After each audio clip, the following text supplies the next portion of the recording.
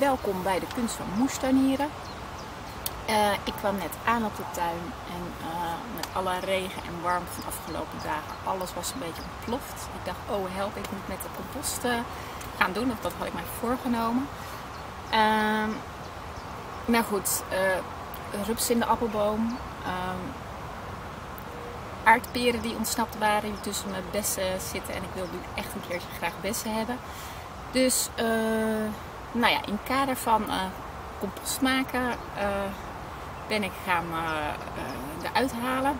En ik heb een mooi bergje voor de composthoop zo. De, sla of de spinazie was flink doorgeschoten. Die zitten dan al heel snel in bloemetjes. Ehm, normaal gesproken denk ik van, hè, zonde heb ik ze niet opgegeten. En nu denk ik, oh, dat is ook mooi voor de composthoop. Alle materialen. ja, een beetje aan het omdenken, denk ik heel vaak denk ik, oh jammer, oh. Maar nu denk ik van, jee, voor de stoop, bladmateriaal. En dan uh, zei ik gewoon weer andere dingen. Dus uh, ik ga zo lasagne maken. En uh, dan ga ik, uh, ik heb de, uit het boek van Mest en Vork van Alma Huisken heb ik de, de opbouw van de composthoop, ik een samenvatting van gemaakt. Dus uh, hier ga ik me, nou ja, met wat ik heb, uh, ga ik me daaraan houden. En dan uh, staat er bijvoorbeeld, begin met takjes en daarna een laag hooi, gras.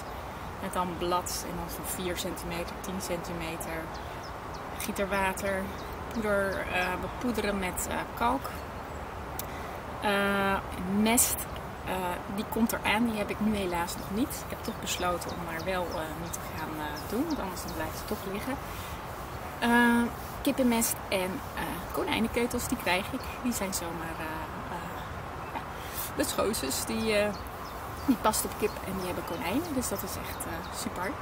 Dus die, die komen er nog aan. Maar verder ga ik toch al beginnen en ik krijg toch niet een hele bak vol. Dus dan komt dat in andere lagen weer terug. Um, even kijken, staat hier nog meer handige dingen. Um, ja, als, dat, als die dan klaar is, dan zeggen ze van zet er een stok in. En dan kan je de volgende dag al voelen hoe heet het is. Hoe warm de compost is eigenlijk het verteren al uh, begonnen.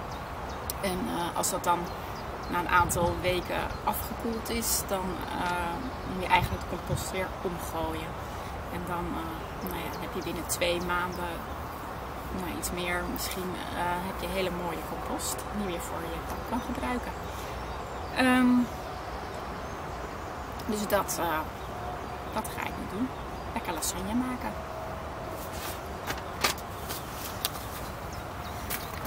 Oh, ik zal even nog. Dit zijn de composthopen. Ik heb er nu twee. Ik had er eerst één. Deze heb ik van het voorjaar bijgemaakt. Omdat het gewoon handig is met omscheppen. En uh, uh, als je een lege bak hebt, dan kan je ook nog, uh, als je materiaal verzameld hebt en je kan nog geen laagjes maken, dan kan je het even daar doen. En de tip is ook, je kan ook tijdelijke composten maken. Hoopjes waar je gewoon nog plek in de tuin hebt. Dus dat, maar goed, ik heb er nu, deze ga ik leeg scheppen. De eerste laag van de lasagne ligt er, takjes. Ik hoop dat het zo bedoeld was. Um, net dacht ik van, oh help, ik, uh, waar moet ik eigenlijk takjes vandaan halen? Ik heb ze eigenlijk begin van het jaar ze eigenlijk allemaal in een insectenhotel of uh, nou, in de tuin verwerkt. Dus ik had ineens even geen takjes meer. Toen dacht ik, ah, aan het begin van het terrein liggen een heleboel losse kleine takjes. Dus ik heb er daar wat van, van gehaald. Dus ik hoop dat dat oké is. Maar ik heb het terrein een beetje opgeruimd.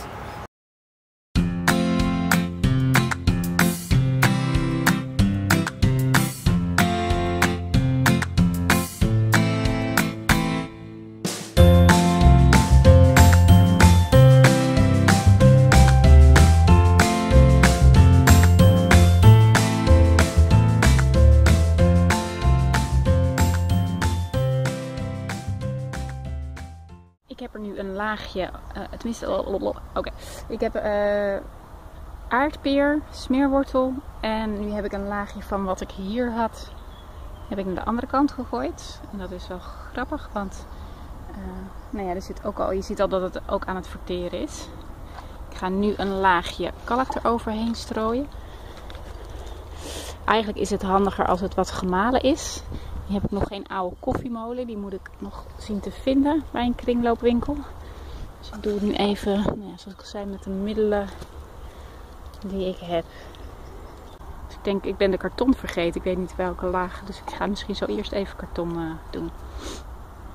Een laagje karton. Ga ik nog even water eroverheen, want hij is wel, wel heel droog nu. Even een gieter. Ah, nee, shit. Oké, een gieter water eroverheen.